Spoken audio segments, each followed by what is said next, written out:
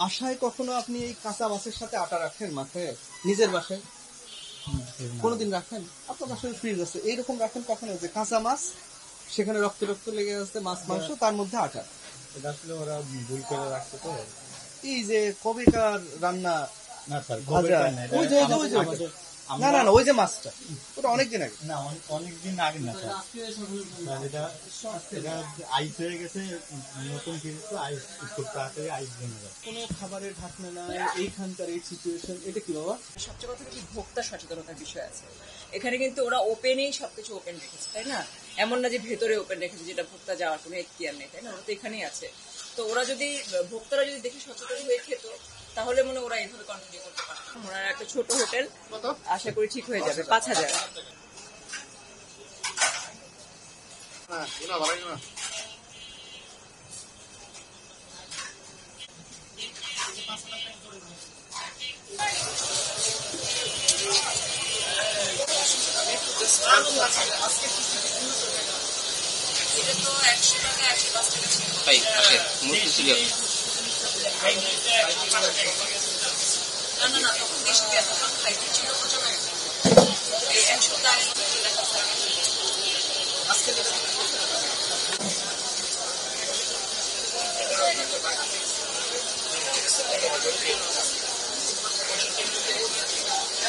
বিকেলে আরও নিব তো মাল এই কারণে এখন এটা সিলেক্ট করি না। এটা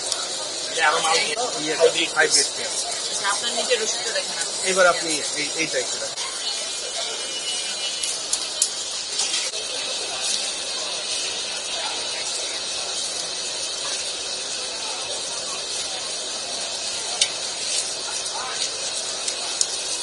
নয় তারিখে একটু রেটটা একটু বুঝাই দেন আমাদের এটা হলো কি আমরা মন হলো বিয়াল্লিশশো টাকা আচ্ছা। ইয়ে একটু রেটটা দেন কত করে পড়ল আমাদের? বিয়াল্লিশশো টাকা বা একশো পাঁচ টাকা করে এটা কি পেঁয়াজ? এটা হলো কি আপনার হাইব্রিড হাইব্রিড না হাইব্রিড তো আপনি বিক্রি করতেছেন একশো পাঁচে। দেশি দেশিটা না? মানে আহ, একটু রেটটা করে দেন তেতাল্লিশ তেতাল্লিশ ইন্টু আশি পয়সা। তেতাল্লিশ আশি মানে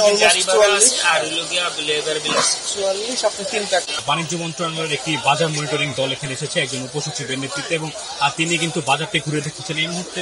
তিনি একটি দোকানে আসলে দেখছেন আমি যদি আপনাকে একটু দেখাতে চাই তিনি তার দল সহ বাজারে প্রায় প্রতিটি দোকানে তিনি যাচ্ছেন এবং যে মূল্য তালিকা রয়েছে তারা আসলে কত টাকায় পণ্যটি কিনেছে এবং কত টাকায় বিক্রি করছে সেগুলো কিন্তু তিনি তদারকি করছেন এবং তার কাছে যখনই দামটি অস্বাভাবিক মনে হচ্ছে তখন কিন্তু তিনি, আমরা দেখতে পেয়েছি সাথে সাথে তিনি ফোন নাম্বার নিয়ে যেখান থেকে ওই পণ্যটি এসেছে, পণ্যটি কেনা হয়েছে সেখানে ফোন করছেন এবং সঠিক যে মূল্যটি সেটি জানার চেষ্টা করছেন এবং যারা তাকে আসলে মূল্য তালিকা দিতে পারছেন না তাদের বিরুদ্ধে কিন্তু আসলে ব্যবস্থা নিচ্ছেন বাণিজ্য মন্ত্রণালয়ের বাজার মনিটরিং টিম প্রতিদিনই বাজার ব্যস্ত আছে নিত্যপণ্যের বাজার নিয়ন্ত্রণের জন্য।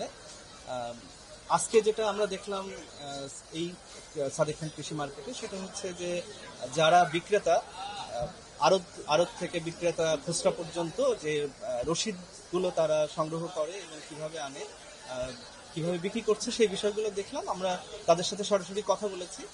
যারা পঞ্চগড়, মুন্সিগঞ্জ বিভিন্ন জায়গা থেকে ঢাকায় মালামাল পাঠায়, তাদের রেটটা জেনেছি। তার সাথে আমরা এখানকার যারা বিক্রেতা আরও পর্যায়ে, তাদের সাথে মিলিয়ে দেখেছি, খুচরা পর্যায়ে মিলিয়ে দেখেছি। তো আপনারা জানেন যে আসলে নিত্যপণ্যের যে দ্রব্য, এটা অনেক কিছুর উপর ডিপেন্ড করে। তো এর সাথে এবার প্রাকৃতিক কারণও যোগ হয়েছে। লম্বা সময় ধরে বন্যা, অতিবৃষ্টি, এগুলো আমাদের সবজি উৎপাদন ব্যাহত করেছে। সবকিছু মিলিয়ে বাণিজ্য মন্ত্রণালয় কার্যকর কিছু পদক্ষেপ গ্রহণ করেছে। যার ফল খুব শীঘ্রই আমাদের বাজারে পড়বে বলে আমরা আশা করছি।